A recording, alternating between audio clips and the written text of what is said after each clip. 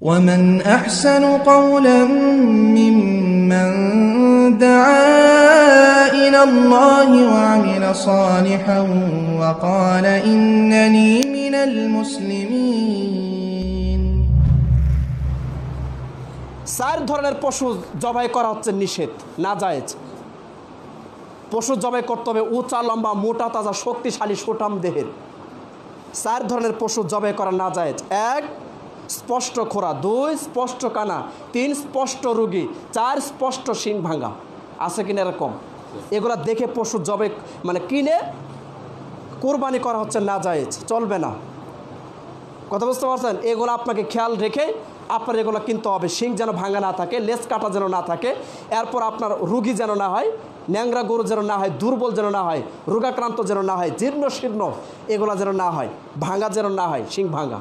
এগুলো খেয়াল রেখে আপনাকে কিনতে হবে। তবে কেনার পরে বেঁধে রাখছেন, মারামারি করা শিং ভাঙলো অথবা গোতা লেগে আঘাত পেল, আছে কিনা এরকম? তাহলে চলবে। যেহেতু কিনে আনছেন ভালো, আনার পরে খুদ হয়েছে, কোনো সমস্যা নেই। সোমান আল্লাহ বলেন। কত সহজ বিধান।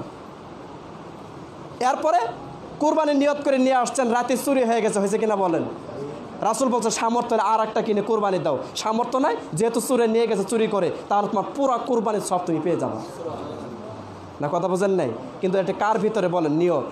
নিয়তের ব্যবসা এখন গোস্ত বেশি খাবেন এই জন্য হ্যাঁ, বড় বড় কিছু কিনা সবাই মিলে ভাগ করে খান। এই জন্য। বিষয়টা হচ্ছে কোরবানি পশু মুছেন না। দুধের দাঁত পরে যাওয়ার পরে যে দাঁত বের হয় এরকম প্রাণী দেখে কিনবেন মুছেন না। আসে না ছাগল? আর একটা মাসলা অনেকেরই বয়স হয়ে যায় ছাগল কিন্তু দাঁত পরে না। আসে না এরকম? তাহলে বয়স যেহেতু হয়েছে ওটাতেই করবেন। মনে থাকবে? এ হচ্ছে দুইটা মাসলা না এরপরে নিজের পরিবারের পক্ষ থেকে একটা পশু রাসুল্লাহ সাল্লাহ সাল্লাম বিদায় হজে, বলেন কোন হজে? তার জীবনের শেষ হজ। লক্ষাধিক সাহাবির মাঝে বলে গেলেন, কি বলছেন? ইয়া আলা কুল্লি নিশ্চয় প্রত্যেক পরিবারের পক্ষ থেকে প্রতি বছর ফি কুল্লে আমিন উজিহা প্রত্যেকটা পরিবারের পক্ষ থেকে প্রতি বছর একটা করে কোরবানি। সুরা বলেন আল্লাহ এ কথা কে বলছেন মোহাম্মদ? তাহলে পরিবারের পক্ষ থেকে প্রতি বছর কয়টা করে কোর একটা করে। তাহলে পরিবারের পক্ষ থেকে নাকি সাতজনে? তাহলে আপনার সে মোহাম্মদ কম বোঝে না বেশি বোঝে? আপনি বেশি বোঝেন? আজকে আলেমুলামারা মানে উল্টা পাল্টা ফতোয়া মাসলা দিয়ে বলছে যেন সাতজনের চলবে। আর সাতজনের যত হাদিস আছে, এগুলো সব সফর অবস্থায় মুকিম অবস্থা নয়। একটা হাদিস বোঝা যায় না যে সাতজন অংশগ্রহণ, কিন্তু সফর না মুকিম বোঝা যায় না। তবু হাদিসের বাপটা অধ্যায় হচ্ছে আপনার কোরবানি অধ্যায়। তাহলে বোঝাই যাচ্ছে সফর অধ্যায়, তাহলে বোঝাই যাচ্ছে ওটা সফরে ছিল, কি বলেন? ওটা কি ছিল? সফরও ছিল।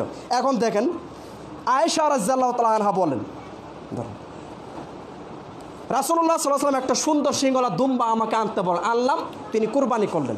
কি বলে? আল্লাহ তাকাবাল মিন ও মিন আহালি বাইতি।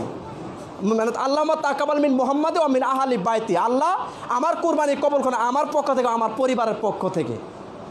তাহলে পরিবারের পক্ষ থেকে যদি কবল করে থাকেন, তাহলে সদস্য আরও আছে কিনা বলেন? আছে না? তাহলে রাসুল বলছেন আমার পক্ষ থেকে, পরিবারের পক্ষ থেকে। আর যখন সাতজনে করো তখন কি দোয়া বলেন? বলেন। কি বলবেন অনেকেরই সাতজনের নাম লিস্ট করে ইমাম সাহেব পরে আর কোরবানি করে। একবার সম্পূর্ণ নিষেধ। ফাইজদামি ফতোয়া বাদ দিতে হবে।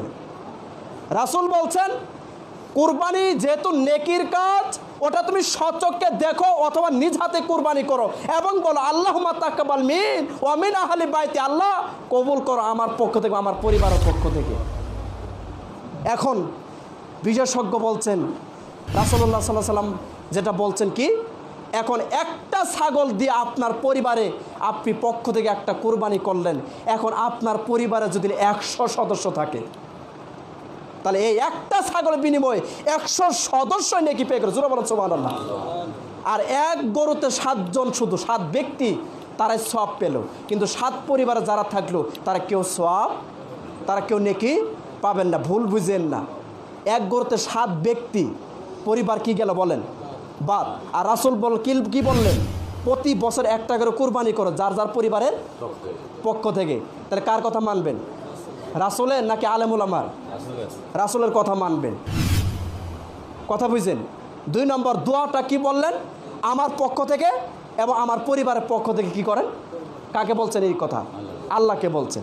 তাহলে যারা সাত ভাগে দোয়া মানে একটা গরুতে সাতজন অংশগ্রহণ করেন, সাত পরিবার অংশগ্রহণ করলেন। তারা নেকি পাবে? সাত ব্যক্তি হয়তো পাইলো, কিন্তু সাত পরিবারের যত সদস্য আছে তারা কেউ পাবেন না। আপনি একটা ছাগল দিয়ে পরিবারে একশো সদস্য নেকি পেলেন, আর এক গরু দিয়ে আপনি শুধু একাই সব পেলেন। আর কোরবানি কি গোস্ত খাওয়া না সবের জন্য? কথা বুঝেন নাই? গোস্ত বেশি পাওয়া না সবের জন্য? আল্লাহ বলছে, তোমার, তোমাদের তাকুয়ারে আমার কাছে পৌঁছে রক্ত পৌঁছে না, গোস্তও পৌঁছে না।